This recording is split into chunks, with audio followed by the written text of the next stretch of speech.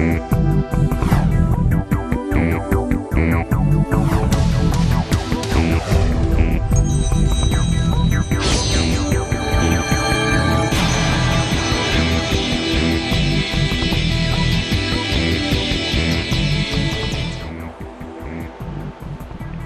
วัสดีค่ะคุณผู้ชมคะต้อนรับเข้าสู่รายการชีวิตพิชิตดวงนะคะทุกเย็นวันอังคารเวลา 6 โมงถึง 1 ทุ่มครึ่ง ซึ่งแน่นอนวันนี้รายการของเราก็พร้อมที่จะมาแก้ไขปัญหาให้กับคุณผู้ชมอีกแล้วนะคะ โดยอาจารย์วิเชียนวรุณพันธุลักษ์หรือว่าเชียนบางบอนนั่นเองนะคะ วันนี้อาจารย์ก็พร้อมที่จะมาพูดคุยกับคุณผู้ชมเช่นเคยครับวันนี้อาจารย์หล่อมาเลยนะคะอะเอาละค่ะ เดี๋ยวแพรขออนุญาตแจ้งช่องทางคุณผู้ชมกันก่อนเลยนะคะสำหรับคุณผู้ชมที่ต้องการจะพูดคุยสายสดกับอาจารย์นะคะ ก็สามารถโทรมาลงทะเบียนกันก่อนได้ที่หมายเลขโทรศัพท์นะคะ 024960493 และ 024960494 รวมถึงอีกหนึ่งช่องทางนะคะทาง SMS ค่ะ พิมพ์ VD ตามด้วยวันเดือนปีเกิด เวลาเกิดนะคะ แล้วก็ปัญหาที่ต้องการจะถามอาจารย์วิเชียนนะคะ ส่งมาที่ 4221606 และแน่นอนนะคะสิ้นเดือนนี้นะคะในวันอังคารที่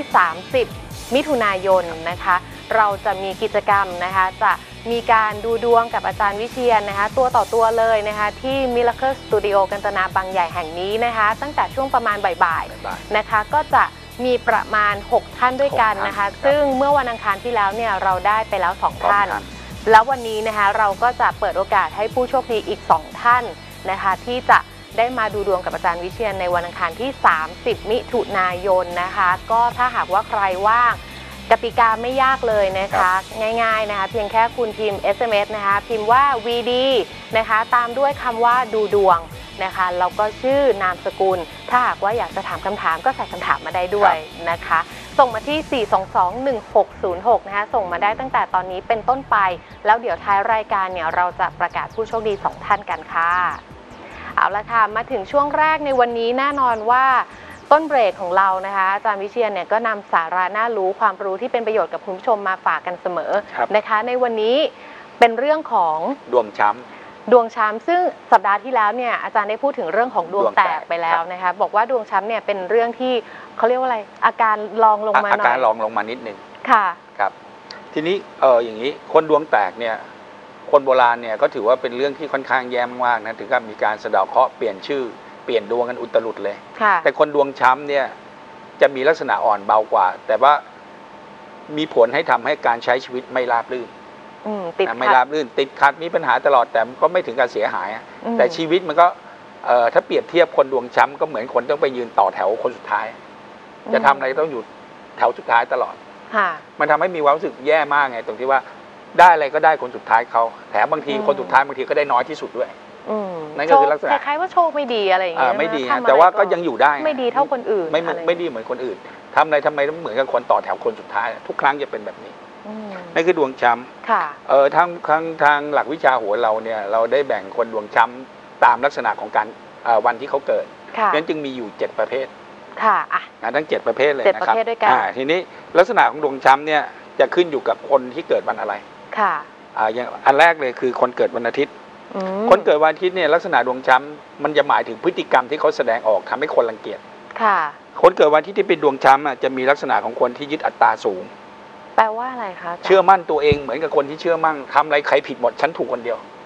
อืมอุ๊ยพอเห็นไหมเรื่องพอจนึริกงภาพมีมีคนรู้จักเกิดวันอาทิตย์แล้วเป็นแบบนี้จริงใช่ครับนี่คือลักษณะคนดวงช้ำนะแล้วก็ชอบคนมาประจบๆ ค่ะต้องมาชมเขาอย่างเดียวนะ ถ้าพูดอืมติเตียนนี่เมื่อไหร่โกรธเสียเพื่อนเดี๋ยววันนั้นเลยฮะอืมไม่ยอมทีเดีวไม่ยอมเลยทีเดียว แล้วก็บางทีก็ชอบใช้อำนาจอย่างคึกขนองค่ะชอบทำอะไรเวลามีอำนาจก็จะใช้อำนาจแบบคึกขนอง โดยไม่สนใจว่า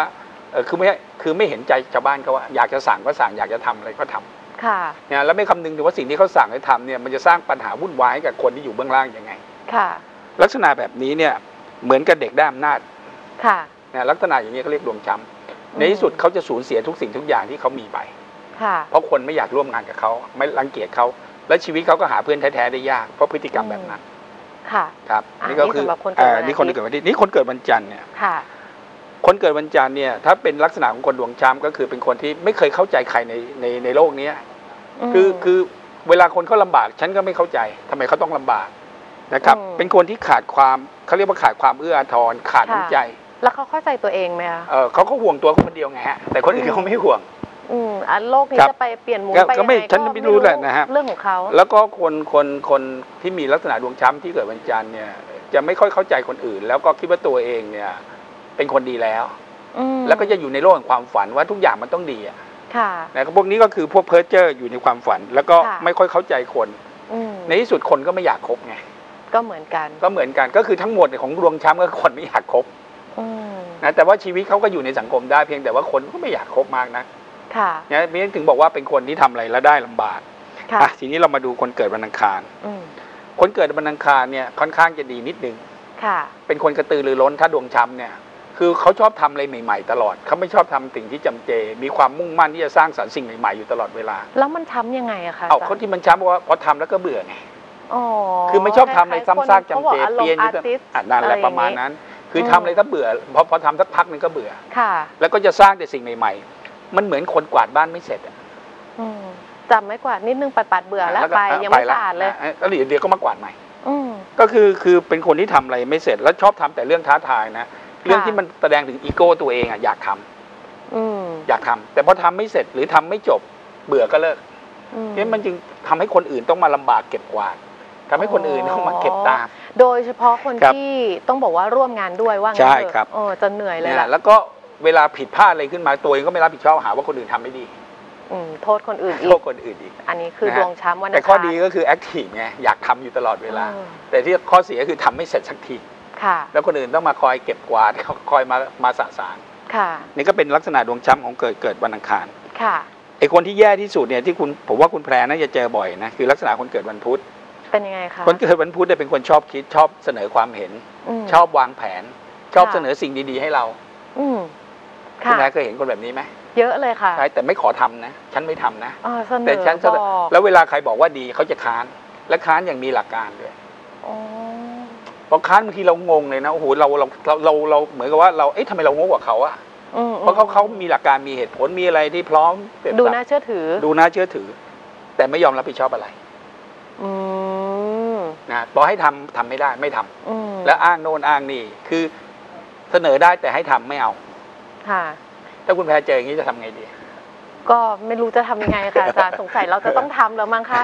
ก็ก็ปัญหาก็จะเจอคนแบบนี้ไงอ๋อแต่มันทำให้เรารู้สึกหงุดหงิดใจเพราะอะไรพอเราตั้งใจจะทำเนี่ยเขาก็จะมาเสนอความเห็นอย่างโน้นอย่างนี้อย่างนั้นอย่างนี้ไงอืมแล้วทำให้เราเขวถูกเพราะเขาไม่ได้ลงแรง แต่เขาไม่ลงแรงทำอยู่ไงคนแต่เราดียวทำไงแล้วเราก็เลย เราเราเราเราจะเราก็ยังไขว้เขวว่าเอ๊ะสิ่งที่เขาทำมันตกลงเราผิดหรือเขาเขาถูกอะอืมทั้งทั้งๆที่เราทำเราเจอปัญหาไปบอกเขาปุ๊บอะเขาก็ค้านอีก ใช่ครับ โอ้แล้วก็ค้านวันนี้กับค้านพรุ่งนี้ไม่ไม่เหมือนกันอะโอ้ได้ไหมใช่เคยเจอค่ะอาจารย์เจอไหมเจอเจอค่ะบ่อยนะเออมีเยอะเลยคนอย่างนี้ะมีเยอะนะฮะในสังคมไทยเราเนี่ยอืมแล้วใครทำงานจะเจอคนแบบนี้บ่อยงั้นถ้าเจอแล้วต้องทำใจฮะค่ะ นะครับ ทีนี้คนเกิดวันพฤหัส ค่ะ คนเกิดวันพฤหัสเนี่ยดูเผินๆเนี่ยค่อนข้างจะอ่า ไม่แปลกนะ คนเกิดวันพฤหัสถ้าเป็นดวงช้ำจะมีลักษณะชอบทำอะไรที่เรียกนอกกรอบ นอกกรอบไม่เหมือนชาวบ้านไม่เหมือนขชาวบ้าน คือคือหมายว่าถ้าคนอื่นทำแบบนี้ฉันจะไม่ทำหรอกฉันไม่อยากทำแบบที่เขาทำเหมือนกับว่าเป็นคนที่เหมือนไม่มีไม่มีความคิดไม่มีความชาญฉลาดต้องไปทำไมเหมือนกับชาวบ้านเขาอืมต้องทำอะไรแล้วต้องไม่เหมือนนะต้องแตกต่าง ต้องแตกต่าง ต้องดูโดดเด่น ต้องดูโดดเด่นและต้องแตกต่าง อะไรที่อยู่ในกรอบ อะไรที่อยู่ในระเบียบไม่ทำไม่ชอบ ไม่ชอบ เพราะฉะนั้นคนพวกนี้เราจะเห็นบ่อย เออคุณแพรเคยสังเกตเด็กนั่งหลังห้องไหมค่ะ อะนั่นแหละพวกเนี้ยหนูเนี่ยแหละ หนูเนี่ยแหละ คือชอบนั่งหลังห้อง คือพวกนี้ไม่ใช่ชอบอยู่ในกรอบ ใช่ แล้วเวลาต้องหลบหน้าครูเพราะครูเขาไม่ชอบเด็กที่ไม่อยู่ในกรอบอืมแต่ไม่ใช่ว่าคนพวกนี้ไม่เก่งนะฮะค่ะแต่สิ่งที่เขาทำอยู่นอกกรอบเนี่ยทำให้ทุกคนเข้าใจเขายากอืมแล้วทำให้ชีวิตเขาค่อนข้างจะมีปัญหา เพราะว่าคนก็ไม่เข้าใจทำไมเราต้องทำอย่างนี้อืมแต่เราต้องมองอีกด้านหนึ่งนะฮะ การคิดนอกกรอบเนี่ย บางทีก็เป็นเส้นทางใหม่ที่จะดี ใช่ค่ะ แต่มันก็พูดยากไงแต่ผู้ใหญ่ไม่ชอบอืมเพราะผู้ใหญ่ไม่ชอบคุณลองแพรลองนี้เราทำงานกับผู้ใหญ่แล้วถ้าผู้ใหญ่เกิดไม่ชอบอะไรจะเกิดขึ้นค่ะเขาก็หมั่นไส้เรา อืมถึงแม้ว่าเราจะมีความสามารถทำอะไรสำเร็จนะฮะแต่เขาก็มีความรู้สึกเขาไม่ชอบอะโดยเฉพาะคนที่มีเจ้านายนะถูกต้องนี่เพราะฉะนั้นสำคัญพวกนี้จึงมกินเงินเดือนใครลำบาก อืมต้องเป็นศิลปินเดียว เนี่ยแหละค่ะ เหมาะมากเลยค่ะก็เรียกชอบเด็กอยู่หลัเด็งกห้อเด็งกเหมือนกันเด็กหนังลั่งน่ะเอ่อพฤติกรรมเด็กนั่งหลังห้องจะเป็นแบบนี้ค่ะแต่ว่าไม่ใช่ว่าไม่ใช่ว่าไม่แต่ไม่ก็ฉไม่ใช่ลาดไม่ดีนะ บางทีออกนอกกรอบบางทีเราได้ไอเดียสิ่งใหม่ๆใหม่ๆนั่สิ่นงน่ะใหม่นั่นๆน่ะในชีวิตเราก็ใช่แต่ผู้ใหญ่เข้าใจยากอืมอะถ้าเราไม่มีคนแบบเอ่อถ้าเราไม่มีคนแบบกาลิเลโอออ่าเซอร์ไอแซคอืมหรือแม้แต่ไอน์สไตน์ ค่ะพวกนี้คิดนอกกรอบหมดเลยนะค่ะแต่มีความสำเร็จ เออไม่งั้นโลกเรานี่ ยากลำบากทีเดียวถ้าไม่มีคนพวกนี้ใช่นะ ครับ ทีนี้เรายังคงต้องจุดเทียนเหมือนเดิมค่ะ ค่ะอะทีนี้คนคนเกิดเกิดวัวันนศุกร์ศุกร์คนเกิดวันศุกร์นี่แย่ที่สุดในบรรดาทั้งหมดเนี่ยนะเพราะอะไรรู้ไหมคนเกิดวันศุกร์เนี่ยเขาเรียกคนขี้เหงา ค่ะ ถ้าเขาดวงช้ำเนี่ยคนที่เกิดวันศุกร์ลักษณะการช้ำของเขาคือเขาเป็นคนขี้เหงาเขาอยู่ตัวคนเดียวไม่ได้ เขาจะต้องไปสังสรรค์หาเพื่อน ทำอะไรตัวคนเดียวก็ทำไม่ได้ จะนั่งอะไรคนเดียวก็ได้จะร่วมกับใครก็เอ่อคือจะจะทำอะไรที่เป็นอะไรที่เป็นตัวของตัวเองเนี่ยไม่ได้ ต้องขอร่วมด้วยถอดแจต้องงด้วเรียยกร้องต้องเรียกร้องความคสนนตลอดใจคนอื่น ตลอดอืมแล้วอยู่คนเดียวไม่ได้อืมแล้วก็ตัดสินใจคนเดียวก็ไม่ได้อืมนะแล้วก็ค่ะถ้าถ้าไม่มีใครไม่กล้าอยู่ร่วมด้วยก็มีความรู้สึกว่าตัวเองอะเหงาตัวเองแย่อะไรอย่างคเงี้ยล้ายๆ ว่าเป็นคนที่พอฟังดูแล้วคล้ายๆ ขาดความมั่นใจใช่ครับคล้ายๆอย่างนั้นค่อนแต่ข้างขาดมากความเลยนะขี้เหงาแล้วก็ชอบสังคมอืม เขาชอบสังคมชอบเพื่อนชอบไปหาเพื่อนอยู่ตลอดเวลานะแต่แล้วคนคนเกิดเอ่อวันศุกร์เนี่ยถ้าดวงช้ำเนี่ยเป็นคนรักอะไรได้ง่ายๆ คือใครใครที่คุยกับเขาเขาก็รักแล้วไงชอบหลงชอบหลงเพราะว่าเหมือนกับใครที่ยอมทนกับการที่เขาไปรบกวนได้บ่อยๆหรือไปนั่งคุยกับใครแล้วคนนั้นยอมฟังเขาพูดตลอดเนี่ยค่ะเขาก็จะรักคนคนนั้นน่ะอืมแต่ว่าเขาไม่เป็นตัวของตัวเอง คือค่ะเขาเหมือนคนขี้เหงาคนขาดเพื่อนไม่ได้อืมเพราะฉะนั้นชีวิตก็เป็นปัญหาแบบหนึ่งอืม เพราะฉะนั้นคนเกิดวันศุกร์อะถ้าเป็นดวงช้ำจะมีพฤติกรรมคล้ายๆแบบเนี้ยค่ะ นะเราเราจะเห็นกันบ่อยๆนะครับค่ะ ทีนี้คนวันสุดท้าย คนเกิดวันเสาร์ คนเกิดวันเสาร์ คนเกิดวันเสาร์เนี่ยนะครับเอ่อเขาเรียกว่าเอ่อเป็นคนที่ใช้ชีวิตผิดวัยตัวเอง แปลว่ายังไงคะคือคนเกิดวันเสาร์เนี่ยเป็นคนช่างสงสัยอ่าจะคุณแพรถ้าเด็กเนี่ยช่างสงสัยแล้วถามเราเนี่ยคุณแพรว่าดีไหม ก็ดีนะคะ ก็ดีดูเขานะ ดูเขามีความคิดที่โต ใช่ครับ แต่ถ้าคนอายุมากแล้วมามาสงสัยตลอดอะก็ดูจุกจิก ใช่ไหมคะใช่ครับ เออ ก็คือคนพวกนี้จะจะระแวงจะสงสัย คือคือจะไม่เข้าใจอะไรง่าย ๆ ต้องสงสัยอย่างนี้อย่างนี้อย่างนั้นอืมนะครับ แล้วถ้าเป็นเด็กเนี่ย ความสงสัยของเขาก็ไม่ได้สงสัยในสิ่งที่เป็นวัยของเขา ก็จะสงสัยสิ่งที่มันนอกวัยเขา อืมส่วนคนที่อายุมากแล้วก็ดันไปสงสัยสิ่งที่เด็กมันสงสัย ค่ะซึ่งมันสวนทางกับวัยบางทีเราเรียกว่าเด็กแก่แดดอ๋อถ้าคนมีอายุเราเรียกเท่าทารกโอ้โหโอเค ที่มาคืออย่างนี้นี่เอง ที่มาอย่างนี้นี่คือลักษณะค่ะของคนดวงช้ำเป็นค่ะ คนดวงช้ำเนี่ยมันเป็นพฤติกรรมและนิสัยเปลี่ยนได้นะครับ ถ้าเราเป็นอย่างนั้นเราต้องเปลี่ยนตัวเราเอง ค่ะ แต่ว่าคนดวงช้ำจะมีอาการแบบเนี้ยตามวันต่างๆ ที่เขาเขียนไว้และบันทึกไว้ในตำราโหราศาสตร์ สงสัยค่ะอาจารย์ครับคนดวงช้ำนี่ครับ คือ หมอดูหรือโหนจะมันจะเกิดขึ้นอยู่ในดวง ใช่ครับถูเขากไหมจะเห็นคะฮะใช่ครับว่ามัน อะคุณมีมีมีดาวแบบเนี้ย ดาวดวงช้ำใช่ครับ แปลว่าคุณจะมีลักษณะนิสัยแบบแบบนี้นี้แบบนี้อันนี้คือจะเป็นไปตลอดชีวิตถูกไหมเอ่อคะ ถ้ามันเป็นลักษณะคล้ายๆนิสัยเขาแหละแต่ว่าอืม อะไรก็แล้วแต่เนี่ย มันเปลี่ยนได้นิสัยอะค่ะมันเปลี่ยนพฤติกรรมเราได้ แต่เราต้องอดทนที่จะเปลี่ยนมัน อืมเท่านั้นแหละ ดวงช้ำไม่ใช่ว่าเป็นเรื่องเสียแบบคราวที่เราบอกดวงแตกไงค่ะ ดวงแตกบางทีมันก็เป็นจุดเด่นของเขาถ้าเขานำสิ่งที่ดีของเขาเนี่ยมาใช้อค่ะ ย่างผมยกตัวอย่างอย่างคนเกิดวันเสาร์อะพวกพวกช่างสงสัยอะเป็นคนละเอียดรอบคอบ ถ้าเขามีโอกาสทำงานที่ใช้ความรอบคอบละเอียดของเขาเนี่ยค่ะก็ถือว่าเขาดีนะอืมอะคุณแพรว่าไหมใช่อย่างเช่นค่ะทำงานบัญชีละเอียดรอบคอบทุกตัวเลขทุงากนตัก็วอัจะกษรเอ็กซ์เลนเลย ใช่ไหมฮะเออเพราะฉะนั้นคนคนที่มีดวงช้ำอะจึงต้องเลือกบุคลิกของเขาอย่างคนเกิดค่ะวันศุกร์เนี่ยเขาเป็นคนขี้เหงาขาดเพื่อนไม่ได้ค่ะแต่ถ้าเขาไปทำงานในลักษณะของงานสังคมล่ะ เออเอองานบริการสังคมเขก็จะแฮปปี้นะได้เจอกับคนเยอะแยะ ใช่ไหมฮะเขาคือเขาอยากเจอคนไงเนาะถ้าเขาทำงานบริการสังคมอะอ่าเจอถูกไหมคนครับอยู่แล้วก็ไม่ต้องไปขวนขวายหาใครมากใช่มายเพราะว่างานของเขาคือต้องบริการชาวบ้านเขาอยู่ตลอดแล้วเขาชอบที่จะทำแบบนั้นเขามีความสุขกับเรื่องแบบนี้อืมมันก็ได้โอกาสไงค่ะถึงแม้ว่าดวงช้ำเขาก็เปลี่ยนคือ ถ้าเราใช้จุดอ่อนเนี่ย ให้มันเป็นเหมือนเราเขาบอกวิกฤตเป็นโอกาสค่ะก็เป็นแบบนี้แหละ อืมเท่ากับว่าพอเรารู้แล้วว่าอะเราเป็นคนดวงช้ำนะ ใช่ครับ เราเรียนรู้ลักษณะบุคลิกนิสัยของตัวเองเรียบร้อยแล้วเนี่ย ครับ เราต้องหาทางไปต่อให้ถูหากไปต้องให้ถูกใช่อย่างกรณีคนเกิดวันอังคารเนี่ยเขาชอบสร้างสรรค์สิ่งใหม่ๆเขาเป็นคน active แต่ว่าเขาเหมือนคนสมาธิสั้นเพราะทำแล้วจบ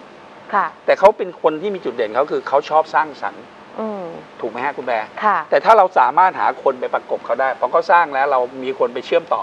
ค่ะ คือทำสิ่งที่เขาสร้างให้สามารถบรรลุจนจบเนี่ย ค่ะ มันก็โอเคไหมอืมงั้นคนต้องเข้าใจเขาด้วยก็ต้องอดทนเหมือนกันนะก็ใช่โอ้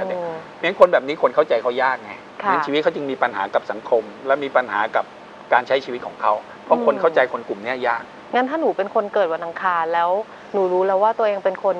ทำอะไรแป๊บเดียวเลิก เพราะฉะนั้นเราก็ต้องฝึกความเพิ่มความอดทนให้ตัวเราเองใช่ครับด้วยที่จะทำสิ่งนั้นให้สำใช่เร็จครับเมียเมียเราอาจจะต้องหาคนรู้ใจเราอืมมาช่วยสารต่อสิ่งที่เราคิดค่ะอ่านั่นแหละ ลักษณะนี้เขาเรียกเป็นดวงเท่าแก่ไงอืมใครเกิดวันอังคารบ้างเนาะก็แปลว่าเป็นเท่าแก่ อย่างน้อยก็มีลูกจ้างคอยช่วยสารต่อสิ่งที่ตัวเองคิดไงค่ะ แต่เห็นไหมถ้าเราฝึกตัวเองได้ด้วยมันก็ดีเนาะมันดีไงครับแต่อืมแต่บอกว่าบางทีถ้าเราทำไม่ได้ เราก็ต้องชดเชยจุดอ่อนของเราค่ะนะครับ แต่อาจจะต้องพึ่งมือคนอื่นแต่ว่ามันยากตรงที่ว่าคนจะเข้าใจเราหรือเปล่านี่สิก็ต้องหาคนที่ใช่ครับเข้าใจอีกก็เป็นเรื่องยากอีกยากทำงานเหมือนกักับนนะคนก็ครับไม่ใช่เรื่องง่ายไม่ใช่เรื่องง่าย ๆ แต่แต่ทั้งหมดผมเชื่อนะคนค่ะดวงช้ำเนี่ยสามารถแก้ไขตัวเองให้ไม่ช้ำได้ครับอืถ้ามีความมุ่งมั่น มีค่ะความตั้งใจค่ะยังไงก็สำเร็จเพราะมันไม่ได้เหลือบากกว่าอะไรค่ะคิดดูสิฮะเออละครสัตว์เขายังฝึก ฝึกเสือฝึกสิงโตฝึกช้างให้ทำตามที่เขาที่เขาพูดได้ภาษาเราไม่ได้อะใช่ก็ยังฝึกได้เลยแล้วนะคนเราเองแท้ๆจะฝึกเองไม่ตัวได้เองเลยแท้ใช่ครับๆนะคะอะก็เป็นเรื่องที่น่าสนใจอีกเรื่องหนึ่งนะคะครับก็ เรียนรู้แล้วก็นำไปปรับใช้นะคะ ส่วนคุณผู้ชมที่พลาดไปเมื่อวันอังคารที่แล้วนะคะที่อาจารย์พูดถึงเรื่องของดวงแตกเนี่ยสามารถเข้าไปชมย้อนหลังได้ใน YouTube Channel ของเรานะคะ ชื่อว่า Miracle Channel เว้นวักด้วยนะคะ ต่อด้วยทีวีไทยแลนด์นะคะเซิร์ชดูนะคะรายการชีวิตพิชิตดวงของวันอังคารที่แล้วครับนะคะ แล้วก็ แน่นอนว่าทุกสัปดาห์ในช่วงเบรกแรกเนี่ยอาจารย์ก็จะมีสาระน่ารู้ดีๆ มาบอกคุณผู้ชมเสมอนะคะ อังคารถัดไปจะเป็นอะไรเนี่ยรอติดตามกันครับ นะคะสำหรับตอนนี้นะคะก็แจ้งช่องทางกันอีกครั้งหนึ่งนะคะ พูดคุยสายสดกันที่ 024960493 และ 024960494 ทาง SMS นะคะพิมพ์ VD ตามด้วยวันเดือนปีเกิด เวลาเกิดนะคะ ปัญหาที่ต้องการจะถามและวันนี้นะคะ เราก็เปิดโอกาสให้ผู้โชคดีสองท่าน ร่วมลุ้นที่จะมาดูดวงกับเราในวันอังคารที่เอ่อ30 30มิถุนายนครับ นะคะ ดูกันตัวต่อตัวเลยนะคะ ก็พิมพ์คำว่าดูดวงเข้ามาด้วยนะคะ ส่งมาที่ 4221606 นะคะสำหรับตอนนี้นะคะ SMS แรกของเราพร้อมแล้วนะคะ เดี๋ยวให้อาจารย์ได้ดูกันเลย มาเลยค่ะ ท่านแรกนะคะ อ๋ออะนะคะ เดี๋ยวขออนุญาตยกไปเป็นเบรกหน้านะคะ เดี๋ยวช่วงนี้ไปพักกันก่อนสักครู่ค่ะ